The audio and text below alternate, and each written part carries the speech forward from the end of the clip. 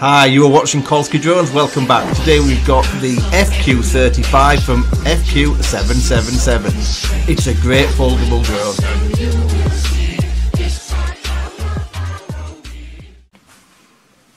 Hi, welcome back to Kolsky Drones.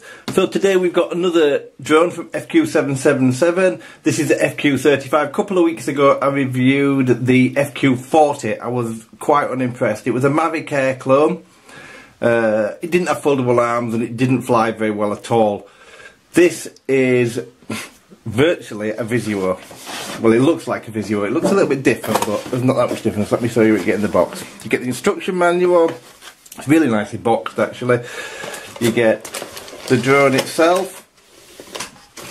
You get the controller. Set propeller guards. Get four of those. And you get a bag of spare props and the charging cable for the battery. So let's have a look at what the main bits. So here's the drone. So as you can see, fold out drone, locked in by some little interference catches there. Now the main difference between this and the Visuo, it's slightly thinner here and the motor pods are different. The motor pods are a different shape and they just didn't have a cutout the Visuo is a little bit you can see are completely see through. And it's got fake motors to give you the look like it's got brushless motors but it is brushed. Brush geared motors. So it comes with one battery which is a 1000 milliamp hour 3.7 volt battery good for about 8 minutes slots in the back there. It's actually quite a tight fit. It goes in the bottom there. No optical flow on this. It's just got altitude hold. As you can see, it's got a tiltable camera. I actually like the build quality is much better on this one than it was on the FQ40 I did a couple of weeks ago. This is new to the market. Oh, it's relatively new. I think I had it on pre-order. And I've already hovered this. I haven't actually flown it, but I've hovered it and had a little go with it and it's so much better than the FQ40. It stays in position, the altitude holds superb on it. It didn't need trimming out, out of the box like the FQ40 did. So I have quite high hopes for it. So, as you can see, green LEDs at the front, red at the back, and the two lights at the front. There's no back centre LED on this one. And the controller is what everybody seems to have gone for, the fake antenna things, but I guess I'm just going to have to live with these. Your phone goes in the bottom there, so let me see if I can open it. Sometimes it's just so tight to get out. Now this one's actually not too bad. So your phone goes in the bottom here. Give it a pull. That's where your phone goes. If you've got a phone with switches on, you could, on the side, you can have a little bit of a problem because mine tends to turn itself off. But at least this one's got some foam on here. A lot of them don't have. So, your buttons on the front, you've got one key return it's not GPS, so it's just going to come back in the general direction it took off from. Headless mode, take off and land, fine tune, so this one's your trim button. Now, it's four position button, but I'm not sure it works because it's not a rocker. So, uh, gyro calibration, emergency stop, speed switch, and flips. The gyro calibration, obviously before you set off, make sure you calibrate the gyro. If you press the button in, turn it on, it'd be better.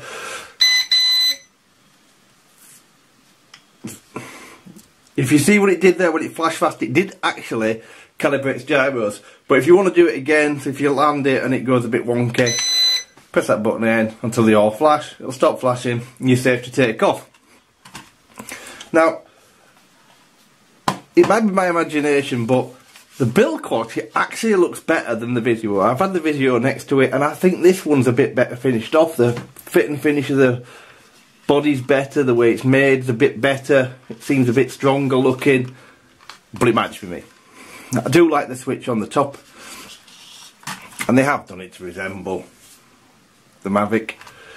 Now if you see it's turned itself off, which is another feature I quite like, so it'll turn itself off, I think it's 30 seconds of non-use which is decent so you can't really just put it away with the battery turned on and I am guilty of doing that a lot so it will turn itself off and the arm it's up and down with the switch as normal. Up and down with your throttle. Oh sorry, no, actually you've got to turn the transmitter on and off when it's done that. You can't accidentally arm it. So, it's a very nice finished off piece of kit. So I have high hopes for it.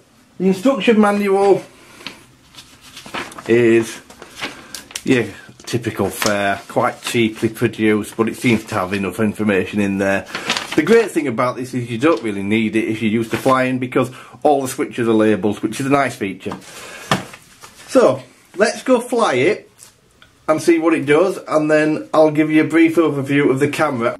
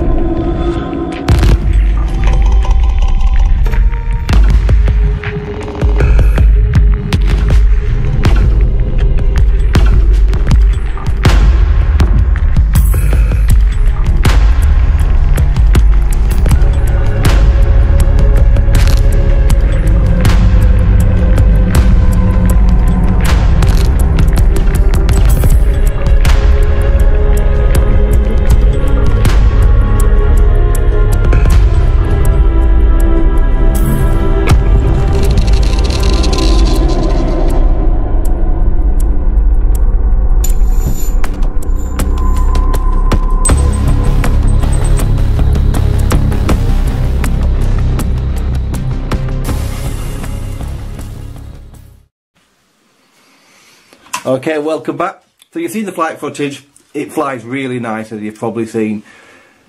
Um, I've also recorded the app, so you've got some app footage and some footage from the camera coming up on the video. You'll have seen on the video as well, should I say. The camera's not the best. the app's the app, but the thing flies amazingly well. I go as far as to say this flies as well, if not better than a Visuo. It's perfectly balanced. It's so stable in the air. And when it's just hovering and it's in the air, you'd actually swear it had GPS. The altitude hold is that good.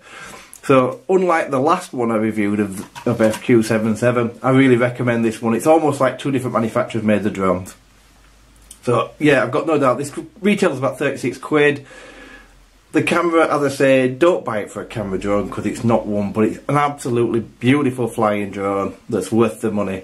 You can buy it with, I think you can buy it with two batteries for another four quid. I definitely recommend that. I got nine minutes flight time just now out of it. It is quite a bit, little bit windy and it's a bit damp, so that might have affected the flight time. So, thanks very much for watching. Have a fantastic day.